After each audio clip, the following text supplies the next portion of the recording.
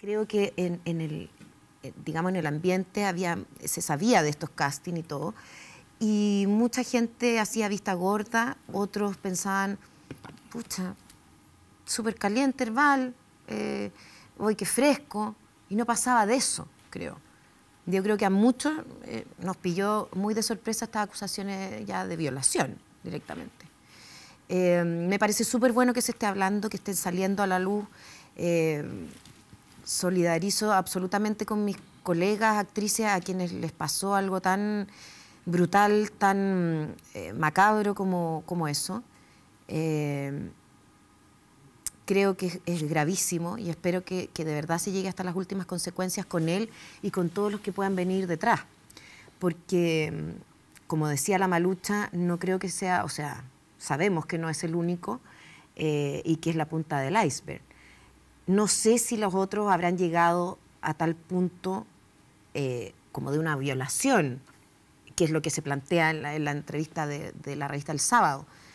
Pero mm, si se llega a comprobar que es así, eh, que yo creo que es así, no hay por qué dudarlo, eh, me parece que tiene que pagar como, como todos los que cometen ese tipo de delitos, porque no son errores, son delitos.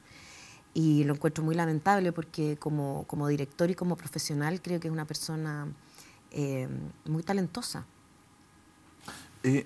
Te pregunto porque esta semana me ha tocado estar este fin de semana largo con muchos actores y actrices como mm. nunca. Matrimonios, cumpleaños, eh, juntas y, toda la cosa. Mm.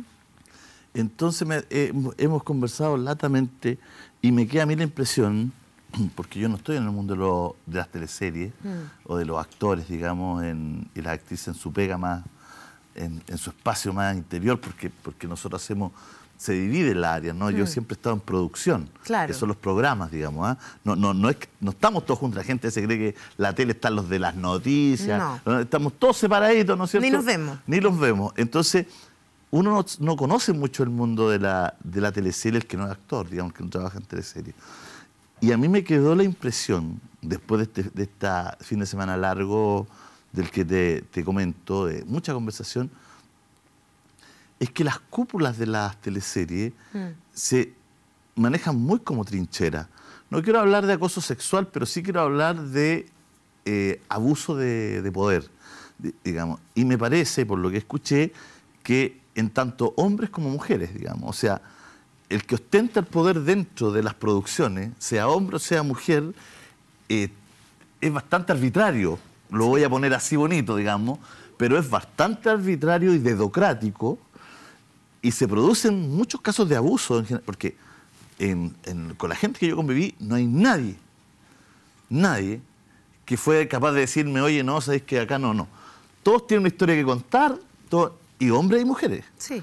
Entonces, eh, porque claro, cuando ya te hablan de hombres, tú decís ya no, pero de hombres y mujeres, o sea que cuando las mujeres están en posición de poder, son rudísimas también en estas materias, digamos, de, situación. ¿Estoy muy equivocado o, es, así la, situación se produce en esta...? No, está en lo cierto. Ahora yo, a mí, yo hablo desde, mi experiencia. Eh, claro, esto, esto como eh, que hablamos de Herbal, que era un secreto a voces, también lo otro que, que, tú dices que pasa como para ambos lados, digamos, también es un secreto a voces. Eh, yo te podría decir con los años que yo llevo trabajando en la tele, que yo empecé bien chica, con 19 años, ya hace más de 20 años, había muchas cosas normalizadas y hasta el día de hoy también son como normales, entre comillas. Eh, ¿Qué quiero decir con esto? Que muchos de los grandes, eh, cuando uno entra a trabajar con 19 años y ves, no sé, a una Coca Guasini, a una Delfina Guzmán y así, eh, actores mayores que, que es como normal o pan de cada día, no es que lo aprueben, pero de alguna forma saben que funciona así y a lo mejor en su momento intentaron eh, revertir esa situación y no se pudo, como tal vez nosotros en un momento intentamos hacerlo y ahora está como eh, la, eh, digamos, como el, cambio, digamos, la generación de cambio que quiere hacer este cambio. Está el caldo de cultivo que, para que, que sea definitivo.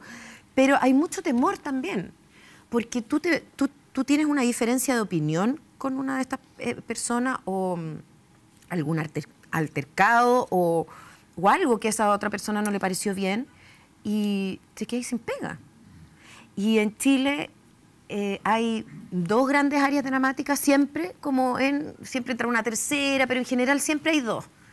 O sea, no hay mucho campo laboral tampoco. Eh, somos un país chico en que la gente tampoco es que, como en Buenos Aires, llene las salas y que hayan salas de teatro de 1.500 personas.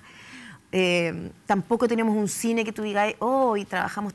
O sea, de verdad es muy poco el campo laboral. Entonces, muchos actores, yo creo que por miedo, no han eh, o denunciado o parado el carro o dicho, sabéis que aquí hay que hacer algo. A mí en lo personal nunca me ha pasado algo así de violento. Eh, sí insinuaciones, eh, sí a lo mejor unas tocaditas de cintura de más, que no corresponden tampoco, pero que uno de, de alguna forma aprende a convivir con eso. Entonces tú ya sabí que es como, ay, ya, y te corrí y todo, pero es como, por eso te digo que es como normalizado, porque uno también cae en el error grave de normalizarlo. Porque en el fondo, si no, tú quedas como, ay, que es tan problemática. No, es complicada. Es súper complicada porque has atado por esto, porque te Entonces uno no quiere quedar tampoco como la complicada. Y como todo el resto, de alguna forma lo normaliza y es como que lo aguanta, pucha, eh, empezáis tú a sentirte el bicho raro. ¿Cómo voy a hacer yo escándalo porque me agarran o porque me citan o porque me hablan de cosas en una negociación que no tienen nada que ver con lo que estamos hablando? Yo no tengo por qué escuchar al productor hablar de sus conquistas amorosas si estoy negociando de plata un contrato. ¿Me entendí? Pero tú empezás a darte cuenta que todas esas cosas le pasan a todo el mundo y se las bancan y, tú entras a este mundo y tú dices, chuta, es así la cuestión. Po.